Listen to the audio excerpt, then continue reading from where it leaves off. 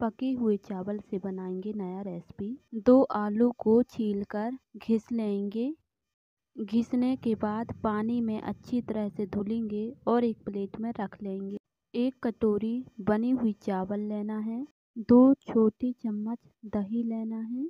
एक medium size का टमाटर लेना है। एक कटोरी घिसी हुई आलू लेना है। एक मीडियम साइज़ का शिमला मिर्च लेना है।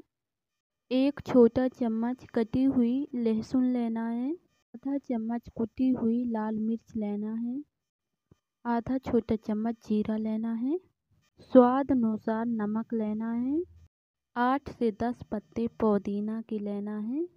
हमने तीन छोटे छोटे हरी मिर्च ले लिए हैं। सभी को मिक्सर में पीस लेंगे। एक बर्तन में निकाल लेंगे। इनो डाल के अच्छी तरह से मिला लेंगे। अप्पे की पैन मीडियम साइज़ में गरम कर लें। थोड़ा थोड़ा करके सभी में देसी घी डालेंगे। थोड़ा थोड़ा सा राई डालेंगे सभी में। राई के बाद मीठी नीम डालेंगे सभी में।